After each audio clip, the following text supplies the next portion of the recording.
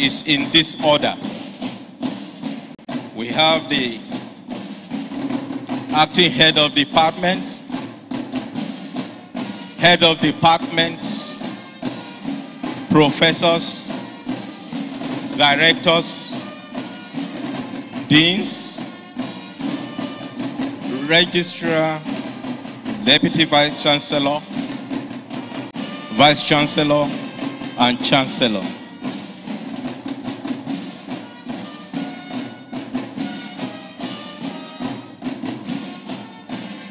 Have the HOD, social, sociology department. We have the HOD EIE. We have the HOD of computer science. We have the HOD physics, the HOD of petroleum.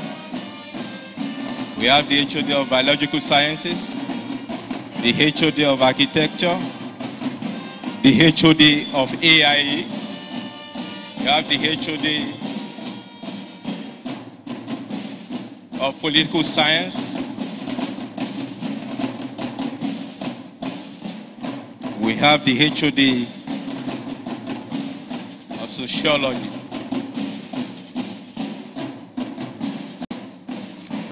We have our professors.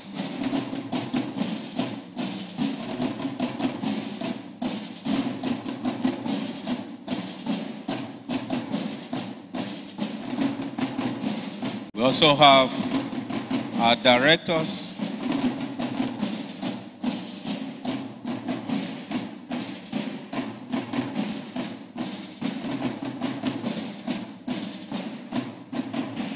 We have our director, director of EDS, we have our director, Ukrit. We have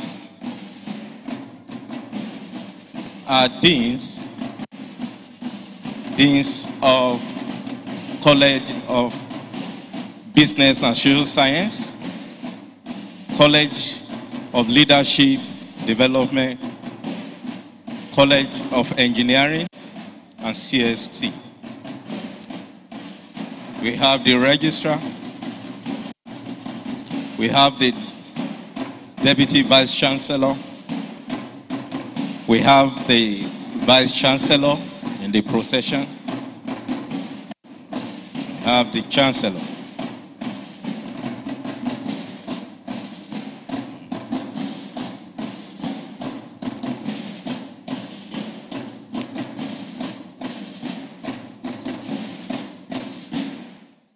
Thank you very much.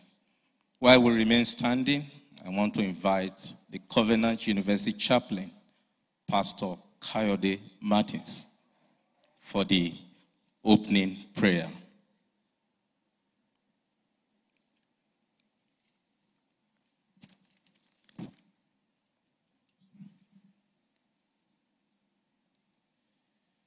In Jesus' mighty name. Heavenly Father, we thank you for this day. This is the day that you have made, and we rejoice and be glad in it. Father, we ask and we commit every program today into your hands that you take charge and preeminence, direct in every affairs of this program. And Lord, we ask, O God, that at the end it shall be to the glory and praise of your name. To everyone who has gathered here from every nooks and crannies, we ask, O God, perfect your good hand upon every individual in Jesus' name. And on this inaugural lecture, both for the speaker and those of us, the hearer, Father, we ask, O God, that this day will indeed be a day of blessing and of your help in the mighty name of Jesus. Thank you, Heavenly Father. In the mighty name of Jesus, we have prayed. Let me hear a resounding amen. Amen. amen. Peace. Thank you very much, sir. While we still remain standing, we want to take the national and CU anthem, the band.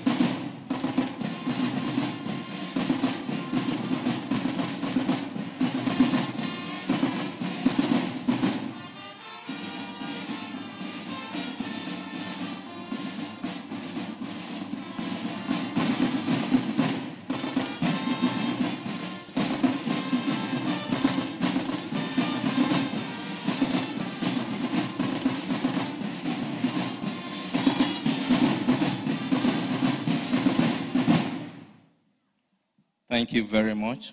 We may please be seated. We want to establish the protocol for this 17th inaugural lecture. The Chancellor, sir. The Chancellor and the Chairman Board of Regents, Dr. David Oyedepo. Esteemed member of the Board of Regents, present. The Vice Chancellor, Professor AAA Atayero. The Deputy Vice Chancellor, Professor Akan Williams. The Acting Registrar, Dr. Larry Amodu. Other principal officers of the university, deans of colleges and school of postgraduate studies, members of the university senate, the lecturer, faculty and staff, distinguished guests, kings and queens in Hebron, members of the press, distinguished ladies and gentlemen, you are welcome. To take us further, I want to invite the acting registrar to introduce the key officers of Covenant University. Join me as we receive Dr. Larry Amodu.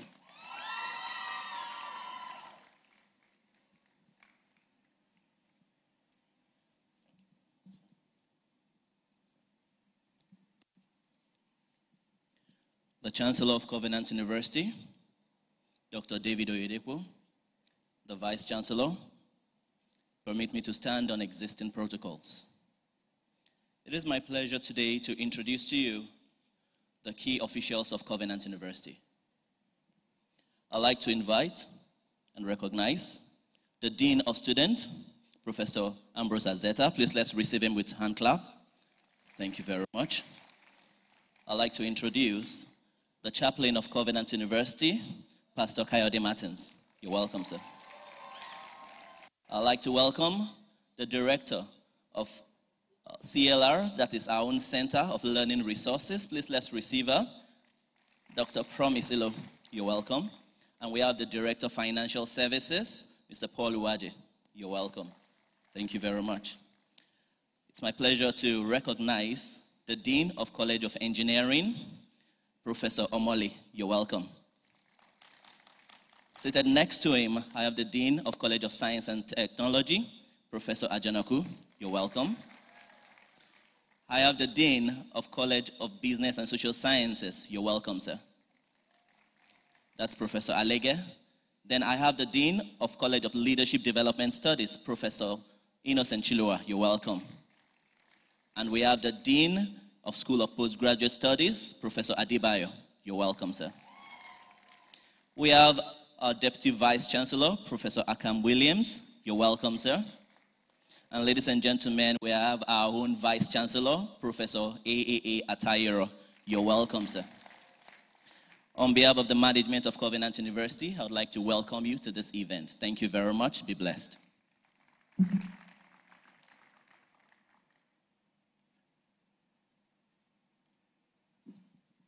Let's give our acting registrar another round of applause.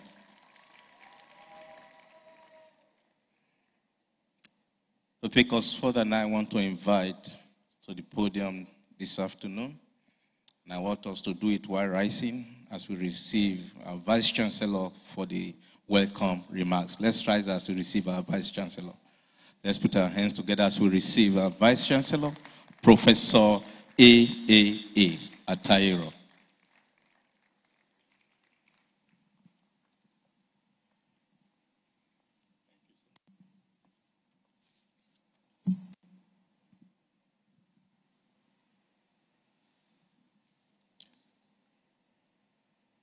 You may please be seated.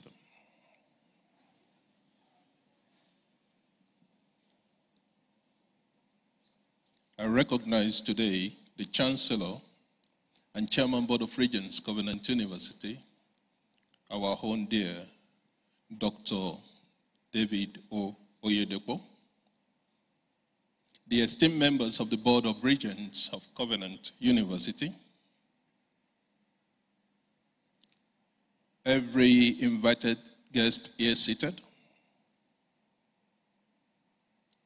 kings and queens in Hebron, principal officers of Covenant University and members of Senate of Covenant, distinguished colleagues, ladies and gentlemen. It is with utmost pleasure that I welcome you to this inaugural lecture. Today's lecture, titled Efficient Data Exchange in Communication Networks, Big Data and Security in the Emerging Smart World, is the 17th in the series of inaugural lectures of Covenant University and the second in this academic session. It is an open secret globally that universities are considered citadels where solutions to societal problems emanate to help improve the quality of life. Universities help to steer the way to the future by creating new knowledge and disseminating novel ideas. A university that fails to lead in these aforementioned ways becomes irrelevant and falls short of its service to the society and to individuals. This understanding is at the root of the formation of Covenant's vision our covenant mission, and most especially our covenant core values. These threefold code has distinguished us as an institution of global repute. Lectures of this nature provide universities and a professorate a unique platform to disseminate development oriented knowledge arising from the research endeavors they embark on. And by so doing, it helps the professorate to fulfill a core obligation to the society. We all know that the world is fast becoming a data road world enabled by computers and the internet. The development and application of the ICTs is playing a decisive role in this transformation. The expansion of big data and development of the Internet of Things are increasingly being visible in a smart world.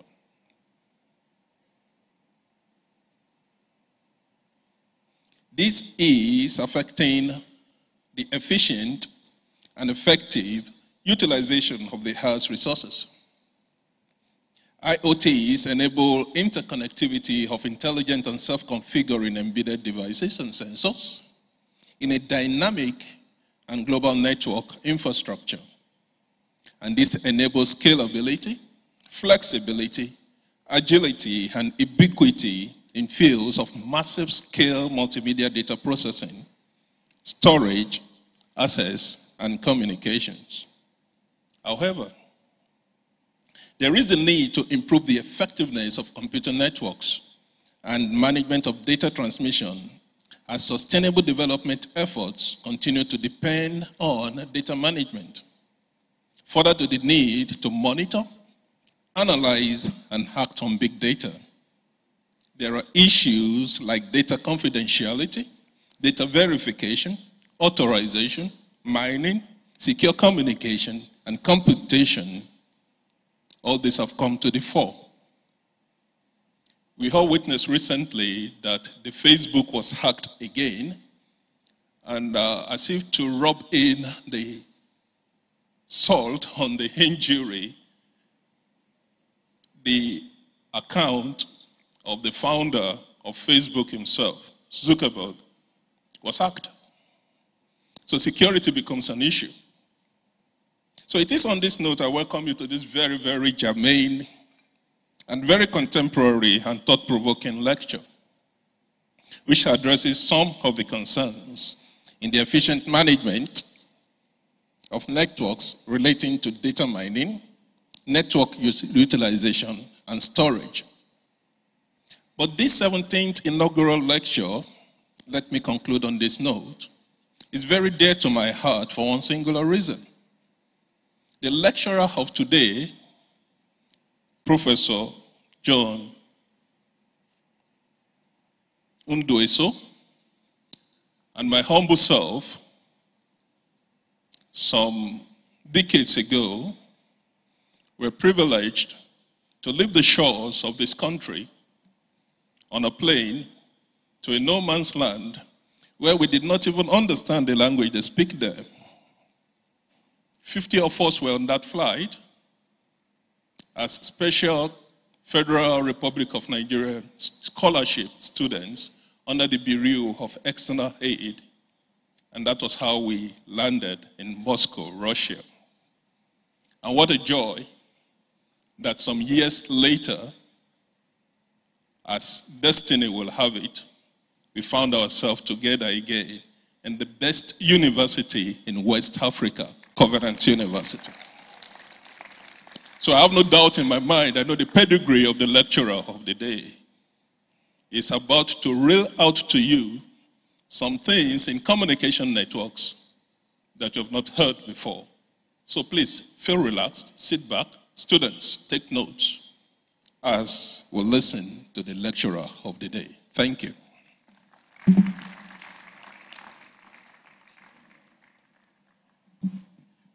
Let's give the Vice Chancellor another round of applause.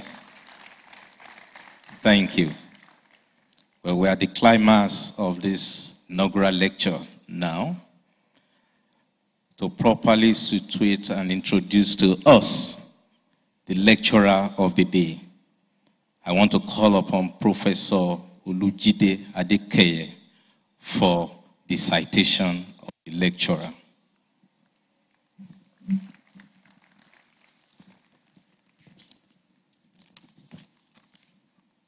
Chancellor, sir. I stand on already established protocols. This is a citation of the lecturer for the 17th inaugural lecture of Covenant University, Professor Samuel Ndueso John. Sir, may I humbly request that you rise and maintain that position while I read through your citation. Thank you. Samuel Ndueso John was born on the 13th of April 1967 at Nung Ukim, Akwa Ibom State. Samuel John is a professor of computer science, systems and network engineering in the Department of Electrical and Information Engineering, College of Engineering, Covenant University. He's been a teacher for the past 22 years. Professor John had his primary education in Ogun State and began his secondary school education at Abusi Olodumare Academy, Ijebu Igbo, and later completed these at Sari Iganmu Secondary School, Orile Iganmu, Lagos. He proceeded to obtain his higher school certificate at Ansarudin College in Solo, Lagos. But before he obtained his HSC, Professor John got a federal government scholarship through the Bureau for External Aid, Federal Ministry of Education, for higher education studies in the Soviet Union, now Commonwealth of Independent States, from 1988 through to 1994. There he obtained his BSc, MSc, and PhD degrees in computer systems and network engineering, specializing in computer science, computing machines, complex systems and network from Donetsk National Technical University. Professor John is a hardworking professional and an enthusiastic computer systems and network engineer with a vast knowledge of computing and has applied these in the pursuance of a wide range of indigenous ICT convergence, data efficiency management, cyber security, cybercrime, and telemedicine solutions, publications. Professor John has more than 90 publications to his credit, and these include journal articles, edited conference proceedings, and books published in the US, Russia, Ukraine, and our beloved country, Nigeria. His research interests includes computer security, computational intelligence, computational science, and network engineering, amongst others. Some of the positions held. Professor John has achieved enviable administrative and leadership prowess. He served as academic level advisor, Department of Electrical and Information Engineering, head of department of the same department, Dean, College of Engineering, Chairman, College Research and Postgraduate Committee, the Chair, University ICT Committee, the Chair, College Curriculum Committee, and the Coordinator, Departmental Postgraduate Program. Chancellor, sir, Professor John is a resource person to the National Universities Commission, NUC, and the Council for the Regulation of Engineering in Nigeria, COREN. Professor John collaborates actively with the industry in the area of computer engineering. He is heavily involved in industrial research and consulting roles as a member of the Trans African Hydrological and Meteorological Observatory, TAHMO, the Netherlands. He has some research grants to his benefit. Is a beneficiary of a plethora of research grants, amongst which are the Nigerian Communications Commission grant for research on implementation of software-based nomadic base station. It Was also given a research grant in collaboration with Ambrose Alli University Ekpoma through the Education Trust Fund, ETF, now TETFund, to develop TCP over IP and communications laboratories for Nigerian universities peer recognition. Chancellor, sir, the lecturer of today is a visiting professor to the University of Maiduguri, Borno State. He's a visiting lecturer to the University of Lagos and is the external examiner to the Department of Computer Science, Northwest University, Mafikeng Campus, South Africa, and other Nigerian universities. Commendation. While serving in Ibadan, your state, Professor John received a certificate of commendation from the National Youth Service Corps and a certificate of merit and honor from the Ibadan North Corpers Association. This was in 1997. Membership of professional associations. Professor John is a member of the Nigerian Society of Engineers, the prestigious Institution of Engineering and Technology, IET United Kingdom, and the Council for the Regulation of Engineering in Nigeria, COREN. Professor John is also a member of the Covenant University Senate. Our dear lecturer of today is married to Olga Leonidovna John, and they are blessed with a beautiful daughter, Lucy Samuel John. Ladies and gentlemen, faculty, staff, and students, please join me as I invite the lecturer of the 17th inaugural lecture of Covenant University, Professor Samuel Ndueso John. Please rise and put your hands together as we welcome the lecturer of today.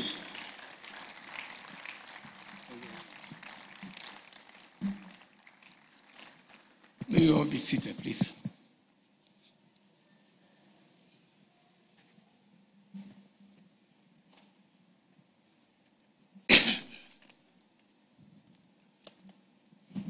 the Chancellor, son. And Chair Board of Regents, Covenant University, Dr. David Oyedepo, the Vice Chancellor,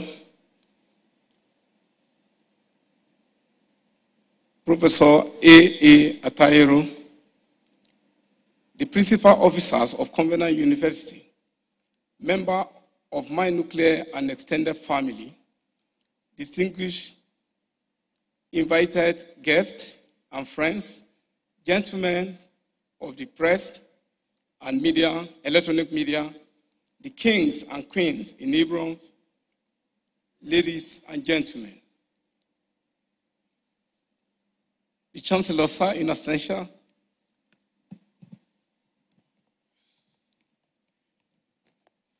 it is with great pleasure, privilege, and honor that I stand to give this lecture the first for the Department of Electrical and Engineering, Electrical and Information Engineering Department. In fact, I'm very, very pleased to be the pioneer being the first uh, lecturer for that department.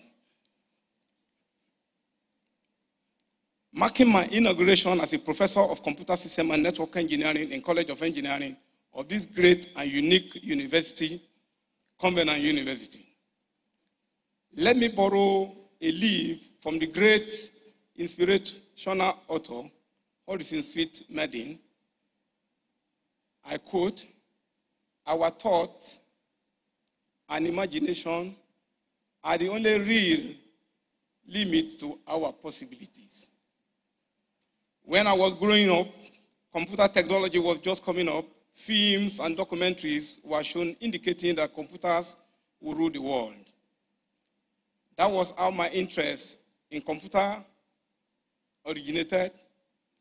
My journey in the study of computer system and network engineering started at Donetsk Polytechnic Institute, later renamed Donetsk National Technical University, Ukraine, where I successfully defended my thesis on increasing the efficiency of data exchange in computer networks based on a protocol of transmission control protocol over internet protocol.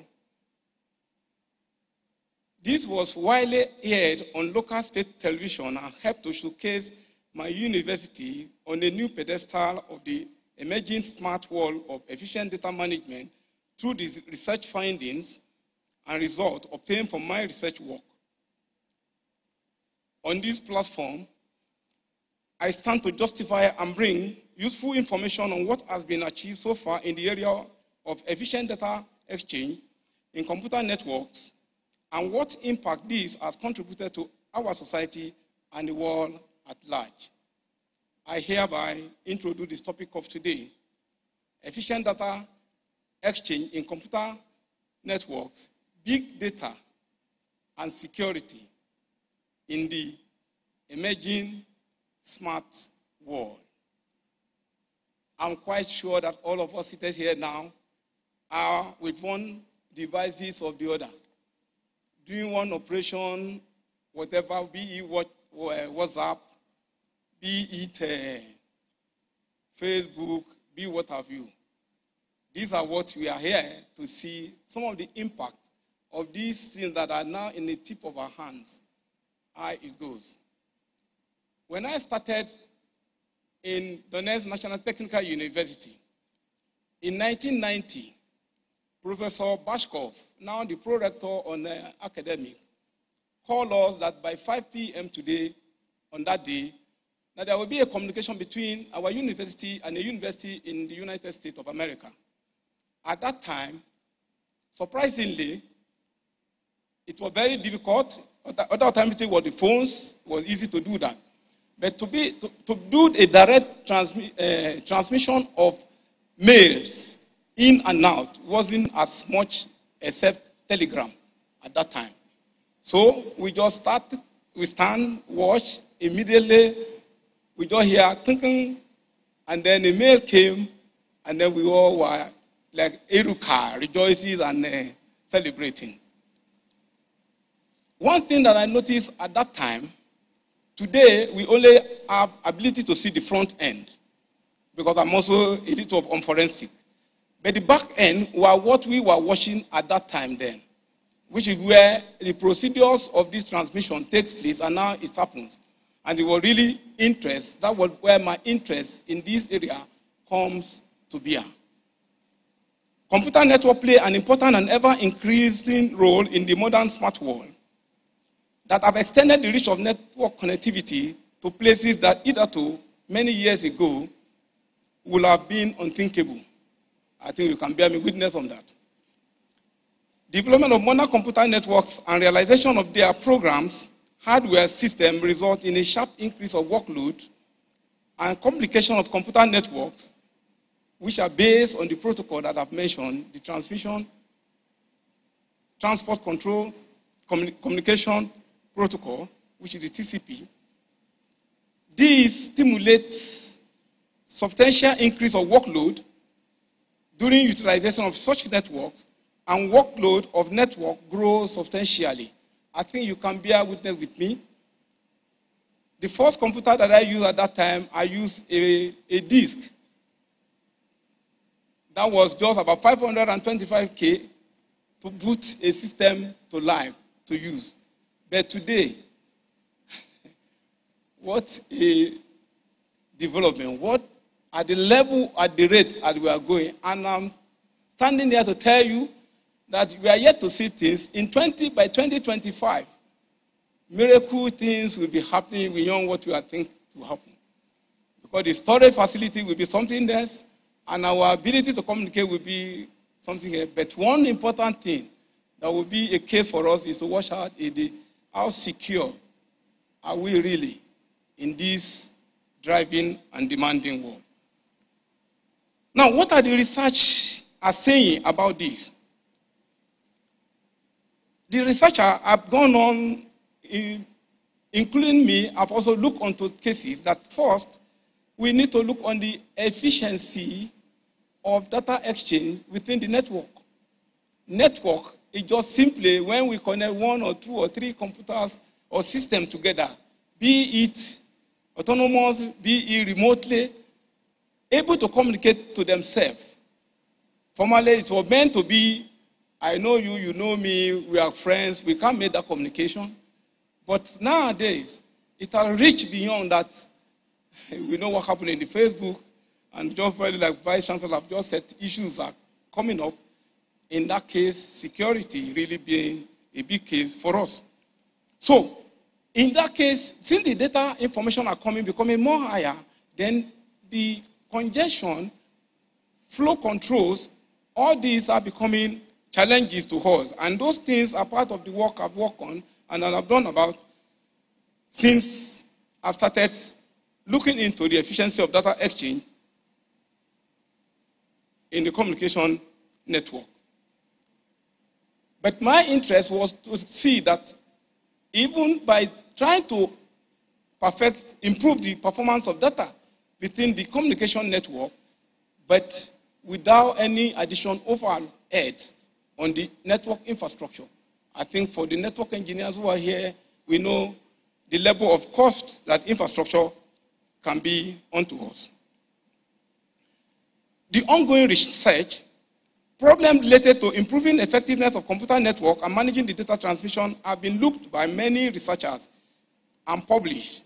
Particularly my school have looked to and here in Covenant University, thank God for the CUCRID, where we have our research uh, center. Things are happening there. And then currently, we are looking on many, many issues to see way of solving some things. Because as the world population and awareness increase, development in technology and its attendant challenges keep increasing. So we keep researching. And that is where the research are based in the university, and then we take it out, solving the societal problem. What are the way forward now? In modern compu- computing network application environment, there is no alternative to keep researching on ways and means of managing big data securely in our evolving smart world. The world is just evolving. More research should be directed at improving data exchange efficiency and network throughput towards maximizing bandwidth usage as well as minimizing data loss. Let's just see for our collective information, big data is a massive volume of both structured and unstructured data that is so large, difficult to process, using traditional database and software techniques. What now is the essence of network efficiency? In recent time, the technical innovation have enabled us to collect exponentially growing amount of data through the use of sensors, smart devices that you can see on the board there, the iPod, what have you, the tablets, even the earphones, and other sources. Efficient management of these data become imperative. Because, for example, NASA will need a swift time in sending and receiving data from a unmanned vehicle Why our military, for example, Nigeria Air Force, name and a drone called Amebo, we also need, use it, them to carry weapons to fight the terrorism. The industry or communication are not left behind. iRobotic system in the industry are the way to go now. At the airport, when I traveled during the summer on my way back, I did check in my house. When I got to the airport at Bor- uh, Boryspil, I check in the load with no attendance and everything goes. That is data working. No attention, nobody. The thing just went on its own. And I got to Lagos. I collect my load with everything intact with no problem. That is the way the technology is going. And we need to manage all these efficiently. Because effectiveness of those management of those computers become crucial for accuracy, timing, speed, and security purposes.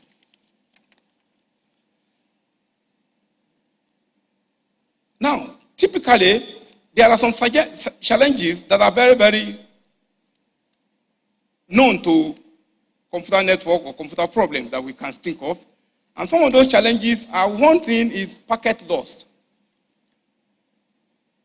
When we talk of packet loss, it means that when packet sent from one end to other end did not get to the other end, whereas missing packet may need to be retransmitted. The availability of the bandwidth It bandwidth availability.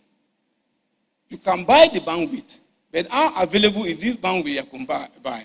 Because bandwidth is caused by serialization delay because of the gadgets or the devices that information need to pass through before getting to you. It's not just that you send, it pass through, getting to Lagos from Otahie. God knows how many devices that the information need to pass through before getting to you to Lagos. Another thing, very important thing, is latency. In our own context of computer engineering, when we talk of latency, some people terms it to be as a delay. Some people we terms it to be as a distance. But the latency can be accumulative for people when crowd the contention for a particular information, and then it becomes as if the information that is really here is just about some miles away from us. What are the, now the enabling drives for this? The enabling propellants in the 21st century is, as it concerns data exchange and transmission, are entrepreneurial. If you look on this slide there, there's a single light that's shown. Everybody comes in there because internet has democratized business creation, enabling new socially inclusive forms of entrepreneurship that fall back to more data usage in communication. And that was looked into by the World Forum Economy, eh, eh, World Economic Forum 2012 and presently 2018 as well too. Transformation. Formerly, I talk of email. The email was just the basic services that we were doing, but now form the backbone of service from banking. Banking industry, slotting, entertainment comes in, medicine comes in, and then that what you could see, the kind of transformation that I showed like the larva, the, the stages of growth in transformation of a butterfly. Now we move on also, another transformation come into the industry, industrial internet. Wow. A transformative form in which the physical world of machine, facilities, fleets, and network can be more deeply merged with connectivity, big data, and analytics of the digital world.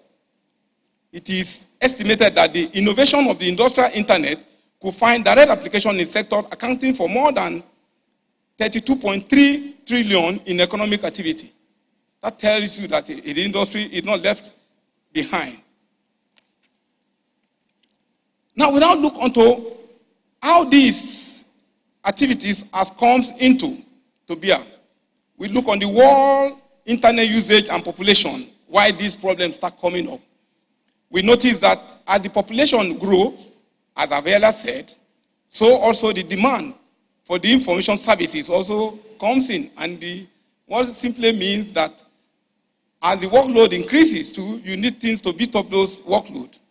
And that's what we can see in the slide number nine, where we see the population growth and then the growth from 2000 to 2018 in respect to internet users.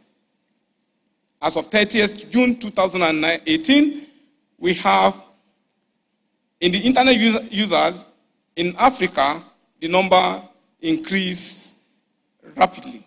And that shows the penetration about 36.1%. Now, let's try refuse analysis of the efficient data exchange.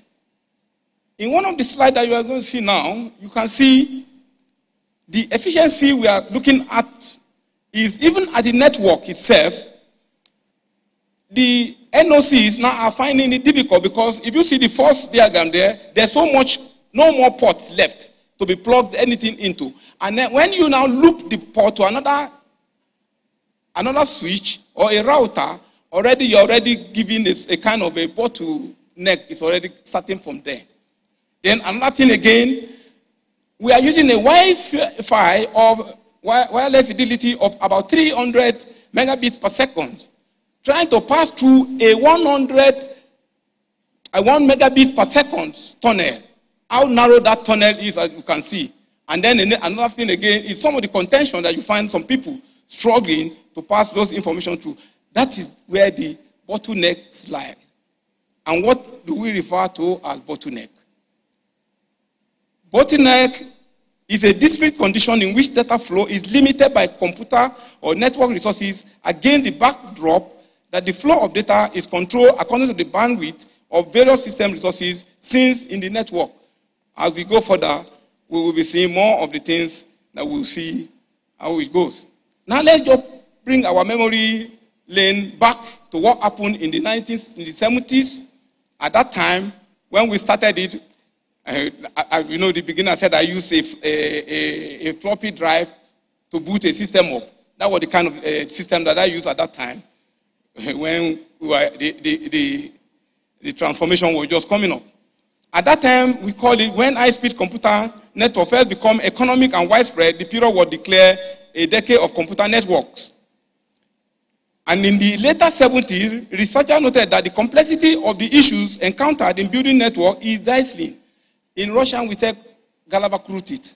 That means something like eh, your head is turning one kind. That's what they were saying at that time. Then the 80s were characterized by relatively quiet evolutionary development of network technologies. And this period, development of various methods for assessing the quality and optimization computing system and network was further carried out. When I came home to serve in 1996, I came with a Pentium DX4 at that time. I know uh, 486 DX4. At that time, that system was used as a server. By the time I was returning back in 1998, Pentium was already been established because the processing of information becomes something more than, more than what we can think of. Today, we are witnessing some issues of i3, i7, I, i5, i7, and even i9 is already in production. With more interest looking into cache, expanding the cache as well, as we're looking into storage facility, but now the issue of security, early this year was talk of the Spectre meltdown. For some of you who might have read it, that now the, the bad boys, I will call them the hackers, are now going indirect into the, the CPU itself to deal with, with us. So what do we need to do? We need to sit tight and then do a lot of things in that respect. Now, as we go further in the 90s now, the explosion of growth of internet infrastructure based on the TCP IP protocol, large scale networking structure began to massively form on the mass scale, and which are now virtually merged into one complex supernet that connect hundreds of millions of computers. That's where you are now having the worldwide www and you get your things done. Now let's look on how data and how big is the data.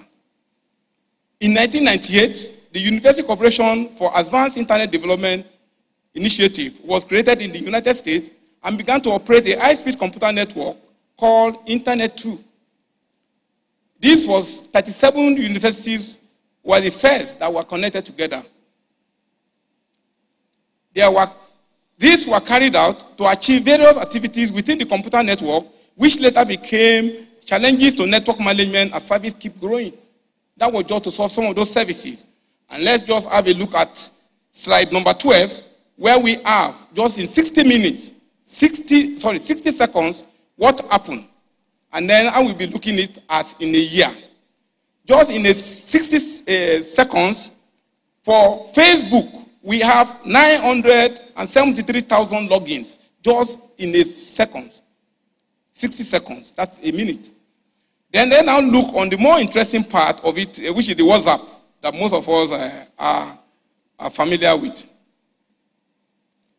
We have it giving us a very large number there, which I cannot locate it here, but I will tell you what it is in a, in a month.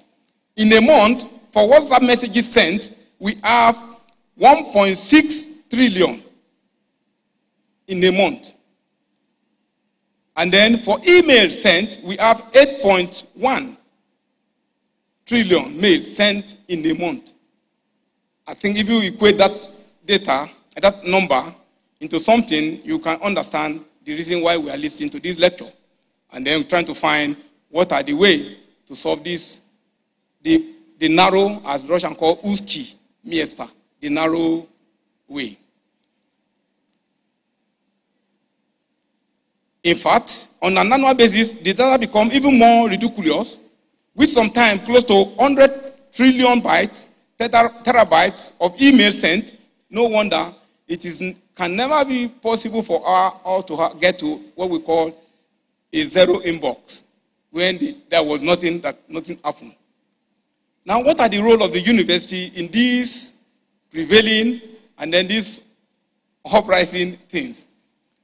We have that what practice shows that university network in the foreseeable future will be the main testing ground for the development and improvement of the World Wide Web as well as we can see today.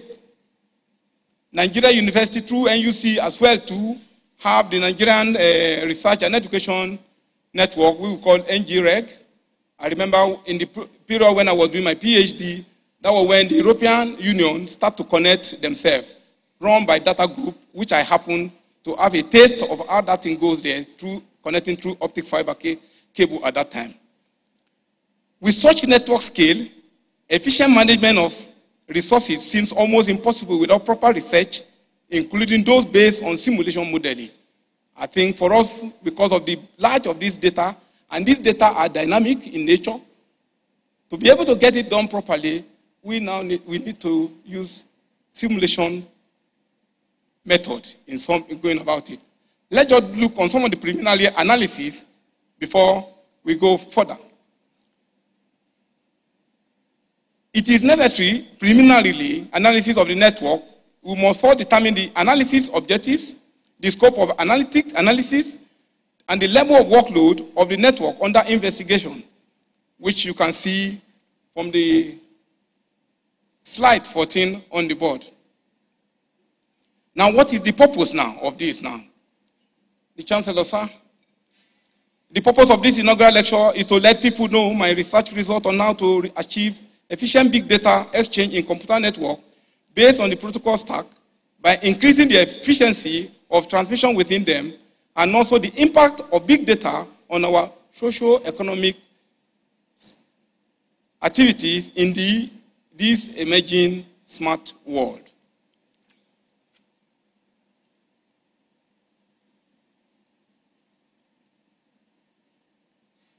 The most impactful network performance, as we can see, is at first, the network performance we look on the type of communication protocol used in their, and their parameters.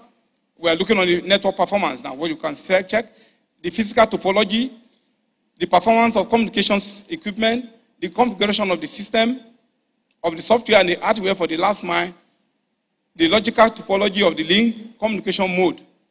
And what is the, are the attributes of packet loss now? The effect of packet loss on a transmission control protocol has been widely analyzed by a well-known author, Martins. In, since 1996, I've been following him up, up to today, 2018, and even in the um, uh, request for comment aspect, this, his work is being uh, notified, uh, noted there. So he has worked that stated there that, that the network plus packet loss plus high latency is a, a performance for TCP application.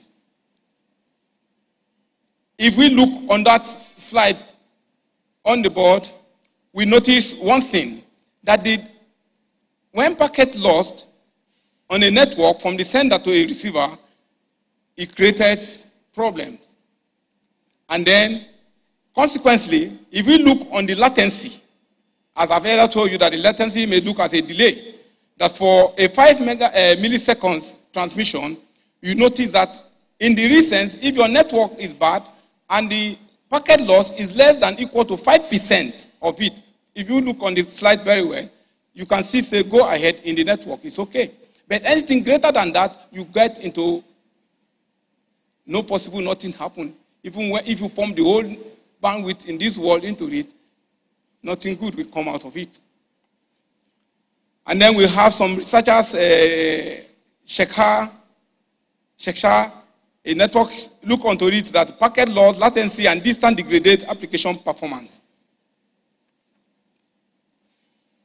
Now, I've been talking of the TCP, IP. What is it all about? Let's just, just look. What is this TCP that I've been mentioning about, or the protocols? I've been talking protocol, and even when we started the work, uh, this uh, inaugural lecture, we said establish protocols. A set of protocols must be constructed carefully to ensure that the resulting communication system is, is both complete and efficient.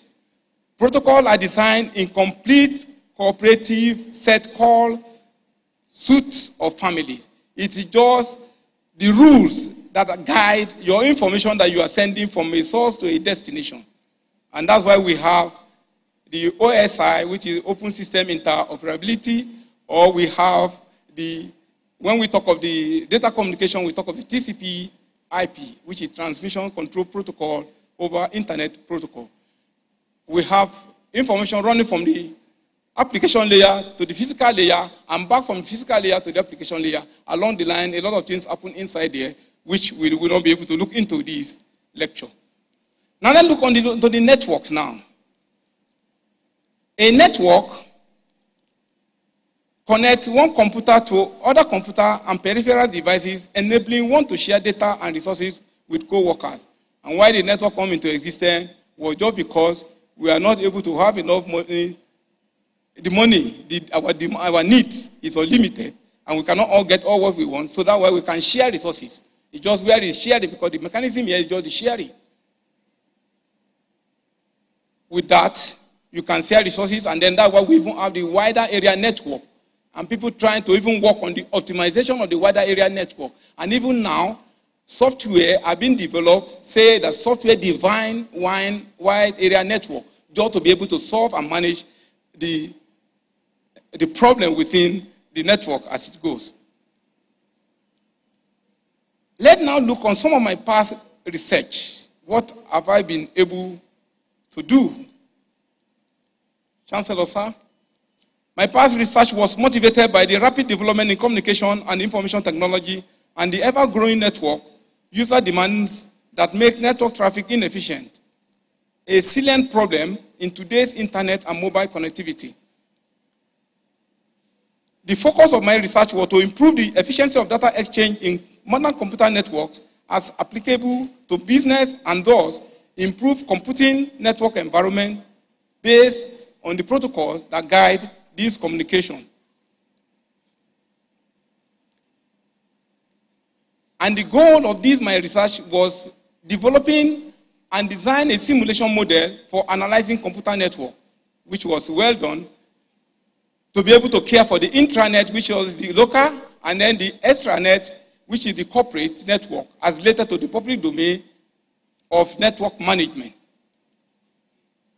This process of the research and approach were adopted in many network environments that encourage data mining, big data, IoT, that's Internet of Things, Industrial Internet of Things, and uh, as related to the need of network connectivity.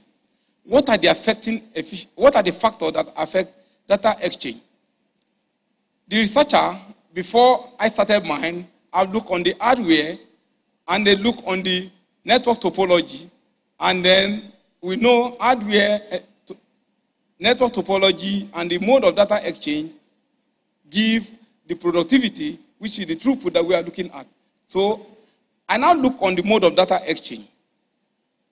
That let me see if I can be able to shape the mode of data exchange, sending information up and down, maybe I will be able to achieve a good productivity. What did I key in to do?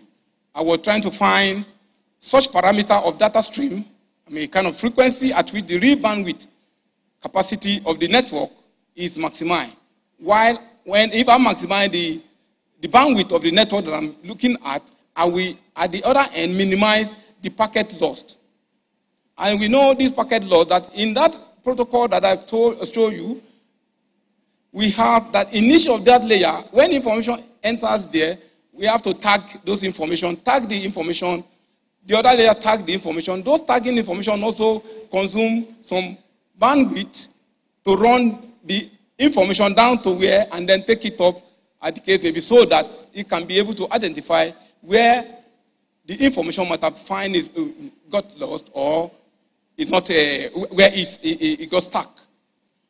So as a result of that now, the problem lies in finding the file size and data processing frequency that the loss rate will be minimal. As you can see on the slide number seven, the impact, that you can see my model that I've developed and used, and uh, very soon there's going to be an app coming out for this model that have been developed because the TCP I'm talking about here is being embedded inside that model, and then soon the app comes out. I was expecting the app to be out this today's lecture, but uh, unfortunately, we just have some uh, little things to, to improve on it. So, if you look on my research finding now, what I found out in my research was that because life, our want is unlimited, life is not just as fine as we can all seem to be. We keep on strive to make it better. At the zone A, I have zone A, B, C, D. I look on those zones that at the beginning, when the less users are on the network, everything was good, okay. You can notice that one early morning it is around 11 o'clock. And when it's from uh, 12 down to around 3, you start seeing some uh, degradation on the network. But whatever be the case, performance of the network is guaranteed to give you about 70% of network will be good. But 30% of this network can be used to care for the ineventuality of things that happen within the network itself. It is a standard and have been proved, which I also key in and also myself found out uh, that is, is true. And you notice I put the coefficient of packet loss at that side is what I'm trying to look at to make it minimal. I was able to achieve that research, and then that's why I'm making it known to the public today. The impact of efficient data exchange in network performance, in my work with my supervisor, we were able to analyze the result obtained. We have a three-dimensional, 3D shows of the result obtained at that time, which shows the first graph shows a change in time, the time changes, and the second graph shows a constant time. What are we trying to see, find there was to check if the number increase of users, file sizes, the, the effect on the performance of the network. And we're able to see that at a certain stage, it starts increasing based on that my finding that I've shown early on. And then that's what we are able to, to concretize our findings which was shown. The general research outcome. The main research, yeah.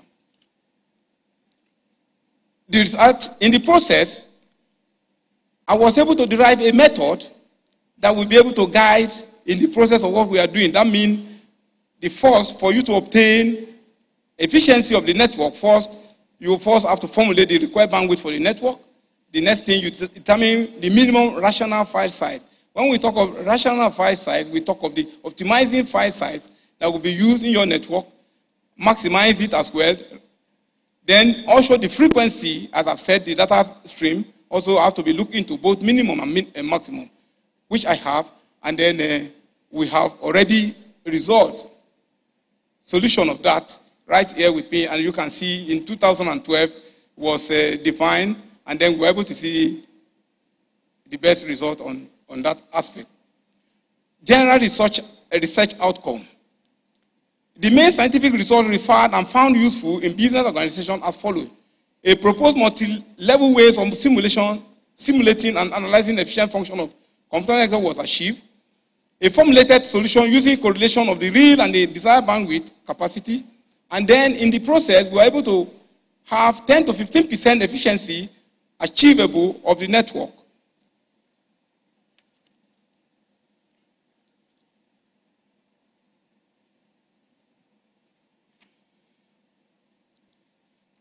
Now research results now. Perfection of mode of data exchange to improve network performance without additional overhead on the network was published in 2003 and 2005 respectively.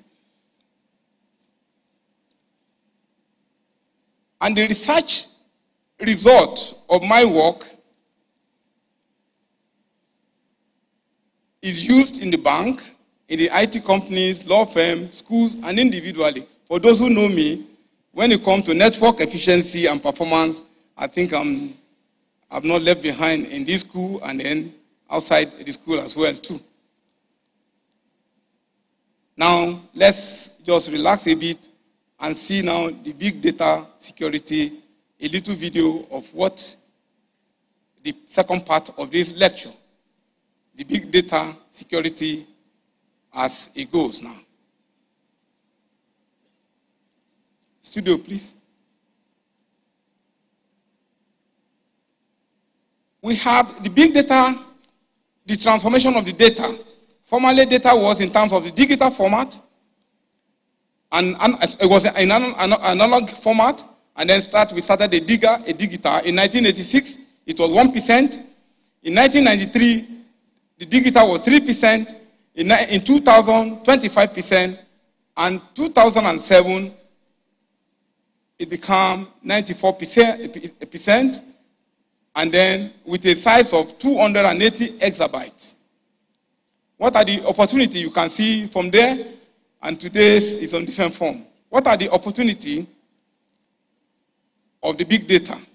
It is useful for decision making and helpful to improve the financial position of any organization, but in the competitive world, there is a lot of new technology to master, and this is changing fast.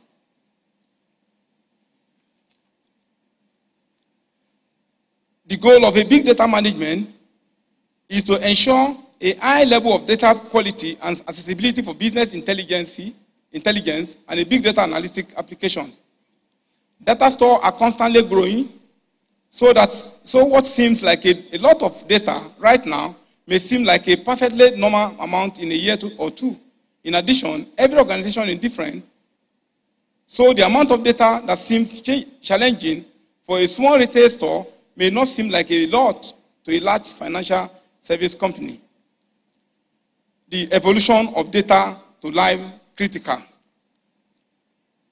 Big data, not only the big data, it is data that is big. I repeat again big data, not only the big data, it is the data that is big.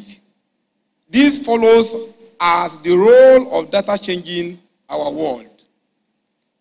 I think you can see in 1980 how the data was. Data sites almost exclusively in data center. Data and computers centralized. And then in 1980 to 2000, data and compute are distributed. And then data center expanded role in management data. And 2000 to today, we are having cloud. Abi? Managing activities for us as we go along. We also have worldwide data to reach. Looking at worldwide data, we reach about 163 zettabyte by the 2025.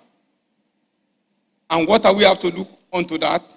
That the evolution of data from business background to life critical Embedded systems are coming in and the IoTs, Internet of Things, are just all over. Some of us are having about 10, uh, three equipment, and all of them are locked, uh, connected into the internet. It's also an issue. Mobile and real-time data are needed. For example, if you are doing a telemedicine and you are doing operation in, in, in, in Ghana, and we have the specialists here in Nigeria, we need that, that activity to keep on going, and it carries not a little data, a bigger data. And most importantly, security as a crucial foundation. I think the VC mentioned a little of those security. We will also be looking on some of them as we go. And one other very important thing is cognitive artificial intelligence, AI system that changes the landscape. I'm happy to tell you that three of my postgraduate students are intensively using this artificial intelligence, be it uh, uh, machine learning, in trying to solve some of the challenging problems like wireless sensor network, and some other things to do with part of what we are uh, listening today, which shows that we are not left behind in this university. Thank you. Now, we are efficient data exchange plus big data security. The era of big data is producing unprecedented amount of data, including sensitive information like with understanding of improving efficiency data exchange securely all sides. And what are the goals of data security? We have a confidentiality, integrity, availability. In all that, those are the fundamental goal of security. If we have all those ones available, we will have things goes on better for us. That means confidentiality, prevent unauthorized use of disclose of information, integrity, safeguard the accuracy and completeness of information, completeness of information, and availability, authorize users have reliable and timely access to inform, information. Now, the Formerly, we do hear of the three V's, but today now we are hearing of the five V big data. You have big data if you are if your data store have the following characteristic: the velocity, the value, the variety, the veracity. If you have all those characteristics, then your data is big, it is. Then the big data challenge is now. We have the data growth, give us a, a challenge. Generating insight timely, achieving business goal and extract insight from it. Recruiting and retaining big talent, big data talent, people that are knowledgeable about data, difficult to have them. Integrating disparate data resources, validating data, securing big data, organizing resistance. And then we can just pick from there the validation of the data if the session is broken, the hackers can easily have access to that information, and then that's what you have. And again, securing big data, when you have security misconfiguration, as well can create more issues. We find out that after the issue of the Facebook, Cambridge Analytica, the European Union brings out that user data restriction comes into general data protection regulatory. And that was in 2018, just to avoid people just using your data anyhow, as the case may be. In overcoming big data challenges and protecting their crown jewelries, information from outside hackers and international misuse by insider or contractors, organizations are embracing a range of methods in the cloud and on premises from across the data life cycle, including encryption, masking, and monitoring. In conclusion, the method of improving efficiency data exchange in computer network was offered by perfection on mode of data exchange within them. These allow an increment to the network performance without additional overheads on infrastructure of the network. And that was able to achieve by giving a 10 to 15 percent increment. Again, the background of earlier recommended measures of improving efficiency of data exchange in computer network in the emerging smart world, big data are very attractive targets for hackers because they contain valuable and sensitive information. These can range from financial or intellectual property to corporate data and personal user data. Chancellor, sir, Mr. Vice Chancellor, distinguished guests, data exchange, big data, and network security are unavoidably interwoven in efficient and effective management of computer networks. Big data is a tool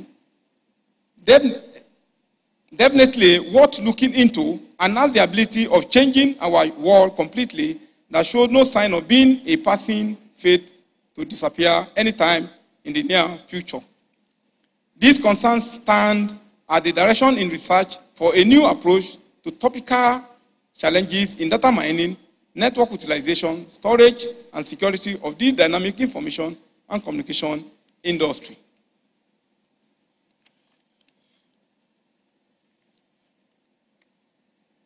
Acknowledgement. I'm indeed grateful to Almighty God for the gift of life in Christ Jesus that have enabled me to attain the peak of my academic pursuit and to be alive to deliver this lecture. I appreciate the Chancellor and Chair Board of the Regent of Covenant University, Dr. David Oyedepo, the visionary, the prophet of our time, for this platform upon which this lecture is delivered. Also permit me to appreciate my Vice Chancellor, Professor A. A. Atayero. Oh, we happened to travel together to Soviet Union. We didn't know ourselves, but God knows that we have to meet to part and part to meet. We met here in Covenant University. I'm grateful we have been working friendly and cordially in our relationship. My appreciation goes to the third substantial, the, uh, uh, second substantial Vice Chancellor, Professor Aize Obayan, and third substantial Vice Chancellor, Professor C.K. Ayo, of whom I serve under him as head of department, Dean College of Engineering, and as well I was appointed uh, professor during this time. My gratitude goes to all the professor, uh, the Dean of College of Engineering, the fourth and the third substantial deans of College of Engineering, and the present dean, Professor Omoli. I thank you all for your support. I thank all the, all the professors of College of Engineering. I appreciate you all. I thank you for the cordial relationship we've been having. My appreciation goes to all SAUSNIC members, Association of uh, Graduates from Soviet Union, Yabas Previously, I greet you all. My greetings, the greeting goes to the colleagues that I work in University of Lagos when I just, my first sojourning back home started. I greet you all. I have Professor Sadiq here, my uncle. He has been the one that has been advising me and guiding me in all things. I appreciate, appreciate you and with your family. I would also appreciate my supervisor, Alexander Anoprienko, my research supervisor, now a deputy minister of education in Donbass, Donetsk, for his patient guides, patient guidance, enthusiastic encouragement, and useful critiques of my research work. I thank all the lecturers that I've worked with in Donetsk Technical University. I thank all colleagues like uh, Akin, Dr. Charles, Godfrey, and many others who have been able to read through this work, and Professor Woshokwetu for looking through my, this draft of my inaugural lecture, as well as the Vice Chancellor, uh, Deputy Vice Chancellor, Professor Akan William. They helped me look through the work, and then I really appreciate. And some of my uh, students, my postgraduate students as well, who have also helped me in doing the presentation preparation. Thank you all. I would also like to thank extended, like to extend my thanks to my brothers, sisters, nieces, and nephews, some who are here, really present here. I thank you all. I also express my thanks to my cousin, who is dear Reverend Samuel Uakman, and his wife, who has presently come from Uyo down here. I'm very, very grateful my sister Alice Okafo that also come here to grace this occasion. I'm very, very grateful. My sister Janet and my son as well too. Something. I'm grateful that you are here. I can as well see Professor Ezezebo from Unilag that is here. I'm grateful. I have to thank my mom, Mrs. Mojitala Sadiku, who have put me through this life when I lost my mom in 1982. Mommy, I ever call you, I'm loyal to you, I respect you, I love you from the depth of my heart. You are a darling to me. I love you, mommy. She take care of me and show me the way of life. And I thank God for giving me the patience to listen to her. I remember when I do go to primary school to go and sit down and read, and she will bring food to come and give me. Mommy, I'm grateful.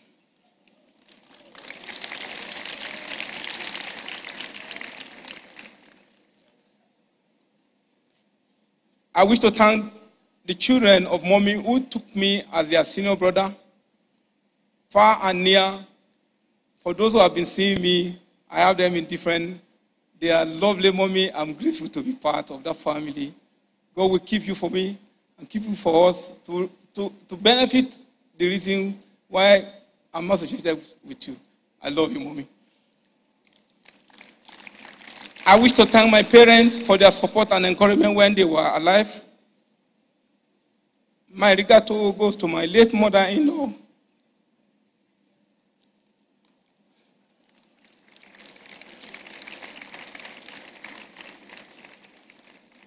She was such a woman that I love.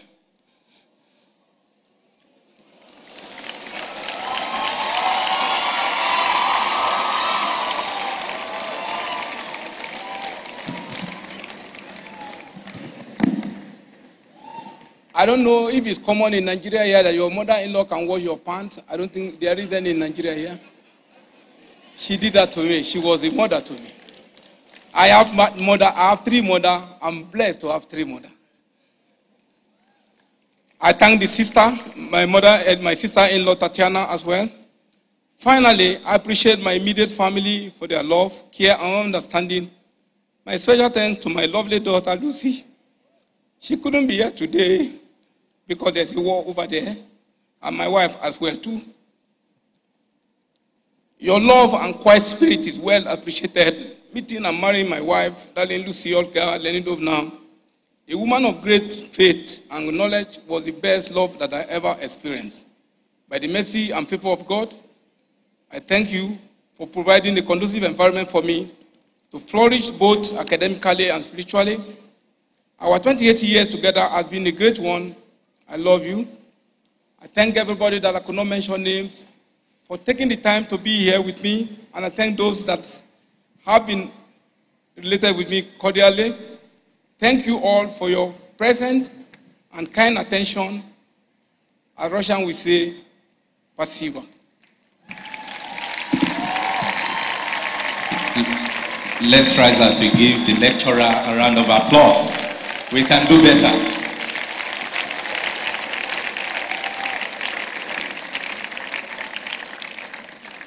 Let's give it to him again. Let's do it. Let's do it.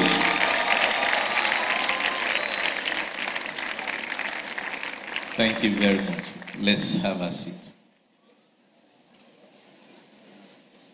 You will agree with me that this lecture is a unique one.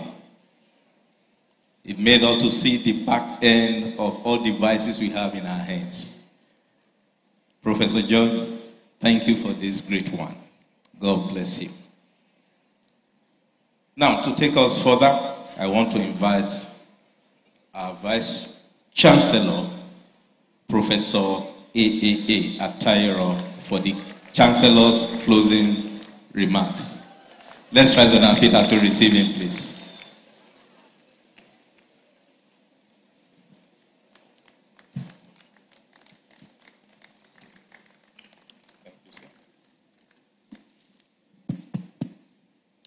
the Chancellor of Covenant University in absentia, Dr. David Oyedepo. Please, you may be seated.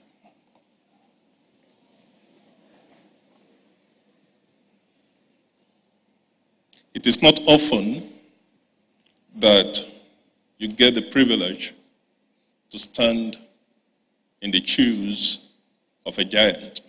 And that's exactly what I'm doing now. I'm in the shoes of the Chancellor of Covenant University, Dr. David Oyedepo. But by privilege of grace, I have known him since the year 2000 when I answered the altar call to him, to Jesus through him. And if there's anything I've seen in the life of our Chancellor, it is the passion for our continent, Africa. It breathes it, it thinks it, it sleeps it. In its waking hours, it dreams about this continent. That is why the topic of today and the lecture of today becomes very, very important because it speaks to the future of this great continent. The African Development Bank recently did a survey. They came out with some findings. And consequent on those findings, one of the things they decided to do was to create 130 centers of ICT excellence in Africa. For what purpose? To create 9 million jobs, train 234,000 future African coders, that we may arrest the problem of unemployment on this continent by the year 2050. Ladies and gentlemen, it gladdens my heart to report to you that Covenant University is one of four in Nigeria.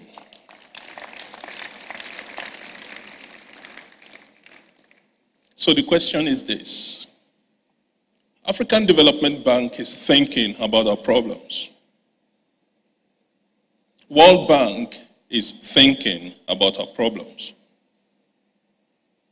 By Sunday of this week, two, three days to come, a group of experts from the World Bank will come to do a site survey of Covenant University in the second stage of our application for an African Center of Excellence.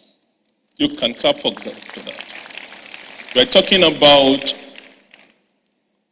a grant that will bring millions of dollars to Covenant University for research.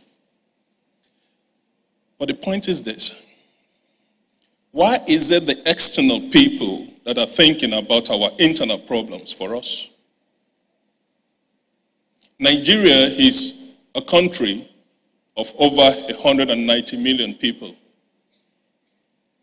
Do we have the data about the demography of this nation. If we do not have the data about the demography of this nation, how then can we plan in an informed manner about the future of this nation? If we cannot plan about the future of this nation, are we not doomed to repeat the follies of the past?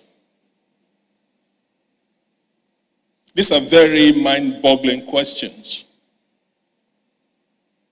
And that is why the lecture of today by our very erudite scholar, Professor Ndueso John, becomes something we have to take with all the seriousness it deserves. How do we use big data? How do we use the high ICTs to affect the future of our great continent? How do we move away from the status quo of doing things the way they were done, expecting to see a different result. A sage once said, It's only a fool that does, does things the way it was done and expects a different outcome.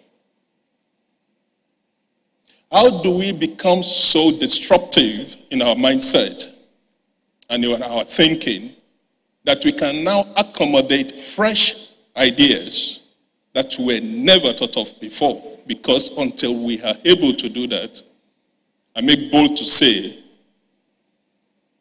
that the future is bleak. How do we break away from the shackles of tradition?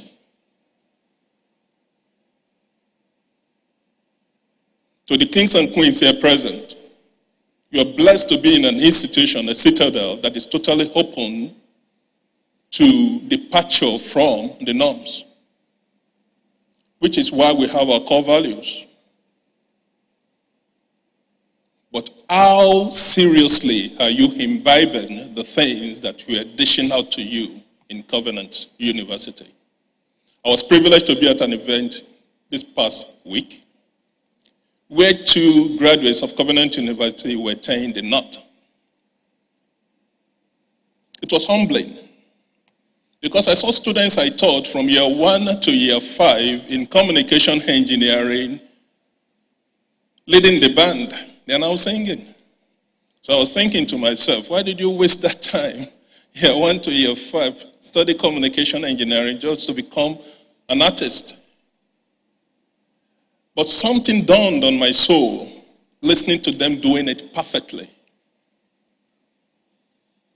That it is an indication that if you let this institution pass through you, and not just you, through this institution, whatsoever I repeat, whatsoever you lay your hands to perform will prosper. But you must imbibe the things we are selling in this institution. Because, as I say over and again, the future of our great continent depends on you. I was watching the Senate yesterday, and I was aghast at the quality of people we have representing us as a nation. When fighting for a seat will take them like 15, 20 minutes to resolve in a country like Nigeria with our burning issues. Who sits where? That was the bone of contention in the Nigerian Senate. Not how do we address the issue of access. Over a million high school students pass out every year with nowhere to go to. Not how do we attack the unemployment problem. Not how do we move away from thinking about how the lives of cows are becoming more important than the lives of humans. That is why my address to you today is to the king and kings of Hebron.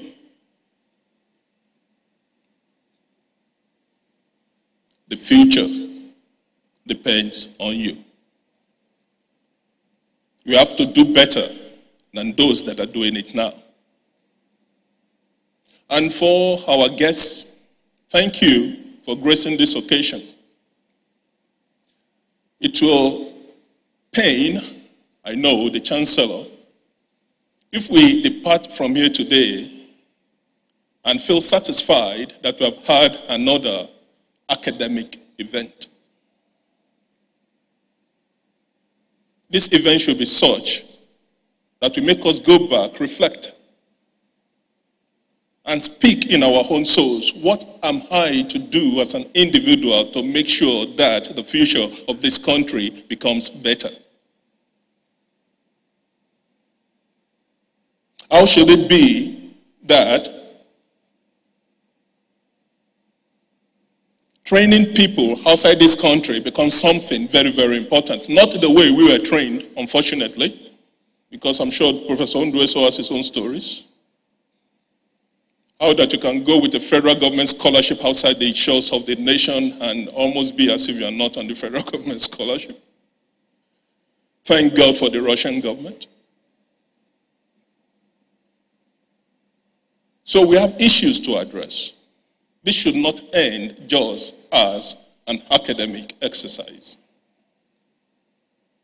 This should be a point of sober reflection to see how do we take this further into the polity? How do we start imbibing that fifth core, value of Covenant University of us, which is responsibility? How do you hold yourself responsible for what should happen in your vicinity?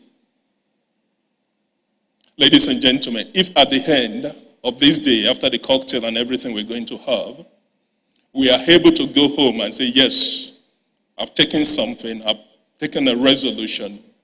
Nigeria must be better because Nigeria was blessed to have me as a citizen of Nigeria. Then I can say that I know the mind of our father, the Chancellor of Covenant University, will be pleased. It is on this note I say thank you for coming and remain blessed.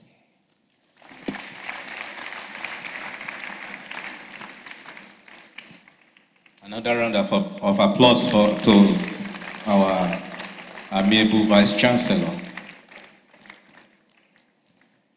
You may be seated, please. Yes, to take, uh, to move for the vote of thanks, I want to invite Dr. Joke Badejo.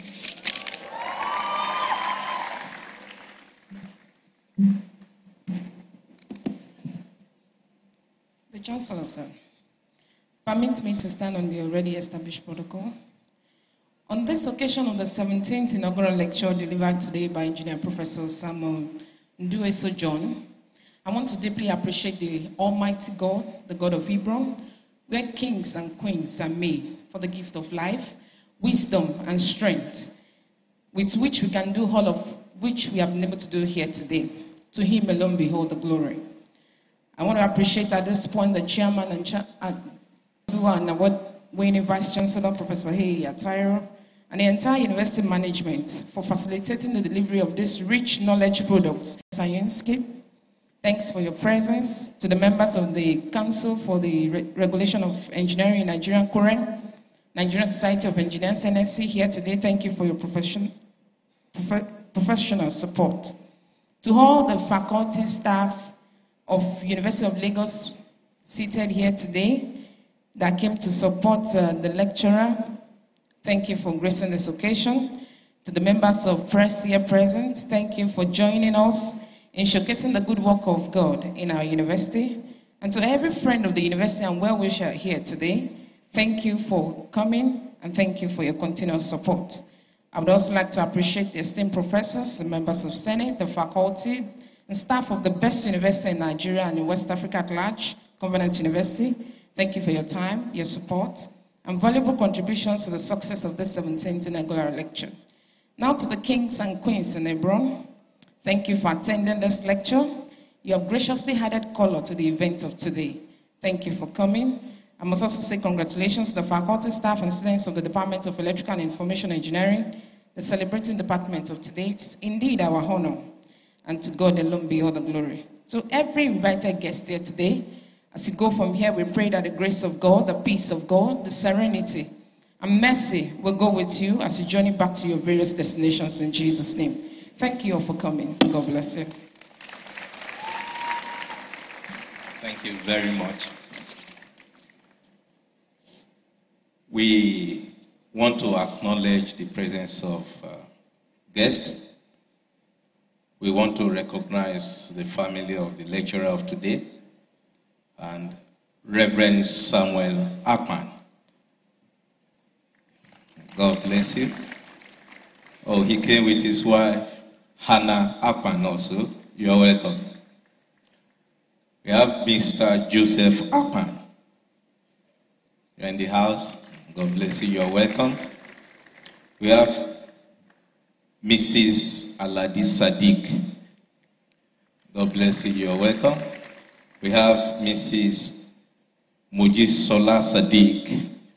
That's our lecturer's mother. You're welcome. Yes, our lecturers also have uh, academic friends from other universities. We want to recognize from UNILAG Professor Eze Zobo David. God bless you, sir. You're welcome. From Lautech Ogbomoso, we have Professor John Olajide. You're welcome. Um, by the special grace of God, we're going to be recognizing more people at the cocktail after this uh, event. And the cocktails will take place at the CLR Conference Hall.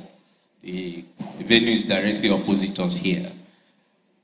And the members of Senate and all our guests are invited.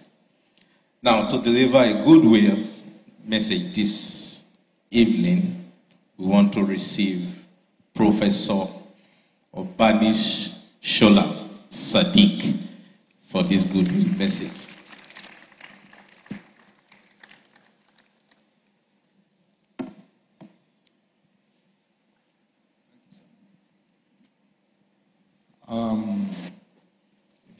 Chancellor, Dr. David Oyedepo, the Vice Chancellor, Professor Atayero.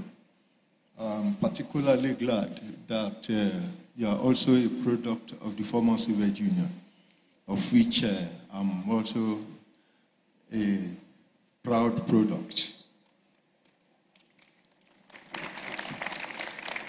Permit me to stand on the existing protocol. I want to appreciate everyone here on behalf of the family of uh, Professor Sam John. Um, when he arrived in Donetsk in uh, 1986, I was on my PhD program then in Kiev. I was in Kiev. And uh, through our mommy, I was informed that uh, another member of the family has arrived, the Soviet Union. And then um, we communicated. Then there was no internet, there was no phone. So we had to communicate through the uh, telephone tube.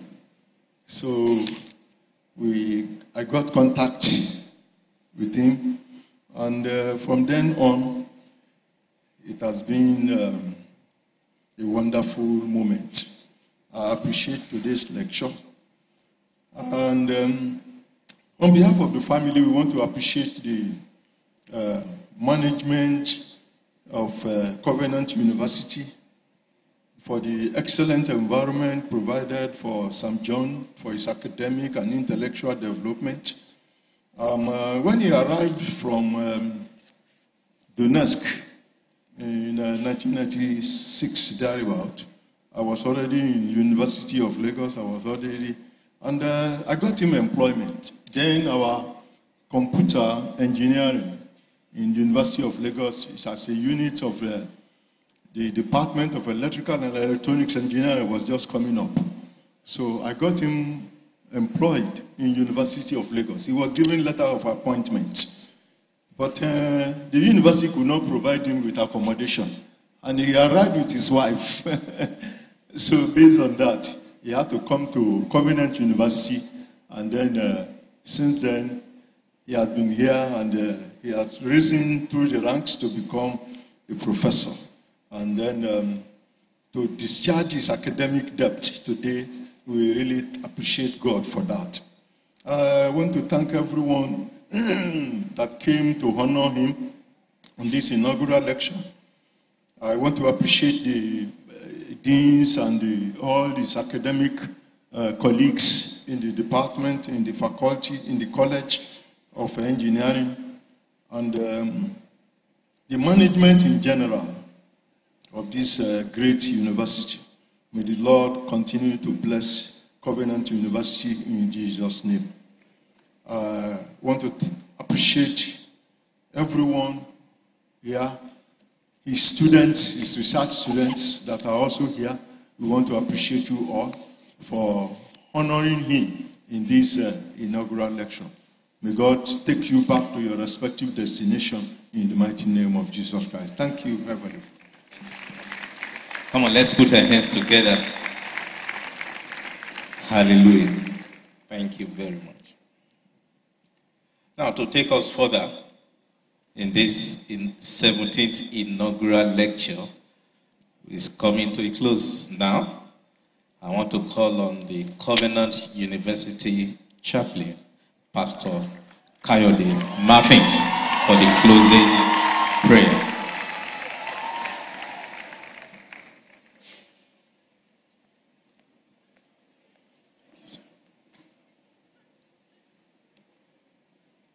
In Jesus' mighty name. Heavenly Father, we thank you for this 17th inaugural lecture. You began with us, and here at this end today, we thank you. Lord, we ask, O God, that as everyone departs from this place, your presence will not depart from us. Everyone individual that came from far and near, your presence will be with them as they go back to their various locations. No evil will be accounted in this day in the mighty name of Jesus. Lord, to everyone present, and most importantly to your Son, who made the presentation today. Let your wisdom and grace never cease from his life in the mighty name of Jesus. Every one of the statements that have been made here in steering us up concerning the concerns in our nation, in Africa, we ask, O Lord, that you will yet continually raise a mighty army that will bring forth light into every dark areas of our continent, of our nation, in the mighty name of Jesus. Lord, the purpose in which you have brought this institution to bear, you keep accomplishing it in the mighty name of Jesus. Father, thank you for today, for your good hand on every side, for the joy and the rejoicing in the heart of everyone, for the good memories that you have given to everyone for accomplishing today. To you be all the glory, honor, and adoration. In the mighty name of Jesus. Thank you, precious Lord. In Jesus' mighty name we pray. Thank you, sir. Let's put our hands together for the chaplain. Now, before we take the CU anthem, I want to say that the procession after the anthem will be in reverse order. Now, the CU anthem, Covenant University Band.